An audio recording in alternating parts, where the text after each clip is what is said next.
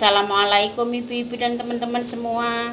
Ketemu lagi dengan mama di dapur Toma Ibu-ibu dan teman-teman kali ini mama mau masak ikan tongkol kuah santan. Dan ini bahan-bahannya Ini sudah ada 700 gram ikan tongkol yang sudah tak potong-potong dan tak cuci bersih Dan tak lumuri jeruk nipis dan sedikit garam untuk menghilangkan bau amisnya. 800 ml santan satu papan pete yang sudah tak iris-iris, satu genggam cabai rawit utuh, dua buah tomat yang sudah tak iris-iris, bumbu halusnya, 4 siung bawang putih, 8 butir bawang merah, 6 biji cabai rawit, 8 biji cabai merah, 1 sendok teh ketumbar, setengah ruas kunyit, 1 ruas jahe, 3 butir kemiri, bumbu tambahannya 1 batang serai, 1 ruas lengkuas, dua lembar daun jeruk tiga lembar daun salam garam gula kaldu bubuk secukupnya. Sekarang kita haluskan semua bumbu-bumbunya.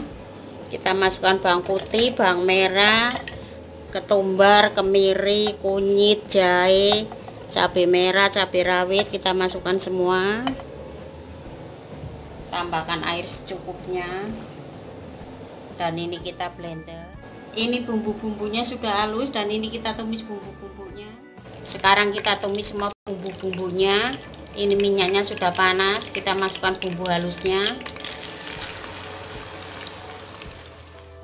Lalu kita masukkan serai yang sudah dikeprek lengkuas yang sudah dikeprek daun salam daun jeruk. Kita tumis bumbu-bumbunya sampai matang dan tanek kalau bumbu-bumbunya sudah matang dan tanek kita masukkan santannya. Kita aduk-aduk kita tunggu santannya mendidih baru kita masukkan ikan tongkolnya. Nah ini santannya sudah mendidih baru kita masukkan ikan tongkolnya. Lalu kita masukkan garam gula dan kaldu bubuk. Kita masukkan semua.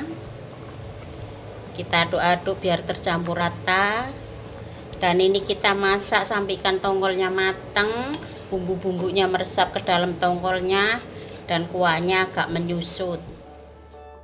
Ini santannya sudah menyusut ikan tongkolnya juga sudah matang terakhir kita masukkan petiknya. Cabai rawit dan tomat juga kita masukkan. Kita aduk-aduk kita masak lagi sebentar sampai tomat dan cabai rawitnya layu Jangan lupa untuk dicicip biar pas rasanya. Kalau sekiranya kurang garam, gula, penyedap bisa ditambahkan. Ini wis tak icip rasanya wis pas, wis enak banget. Wis super sedep, wis super maknyus.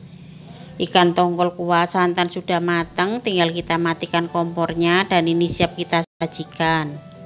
Nah, ini dia ikan tongkol kuah santannya sudah matang. Ini rasanya benar-benar enak banget. Benar-benar super sedap gurih pedas pokoknya benar-benar maknyus banget. Iki kuwait tok tiga makan nasi ku imbu bolak-balik karena saking enaknya dan monggo resepnya untuk dicoba. Terima kasih sudah menonton video ini. Semoga bermanfaat. Dan jangan lupa untuk like, komen, dan subscribe. Wassalamualaikum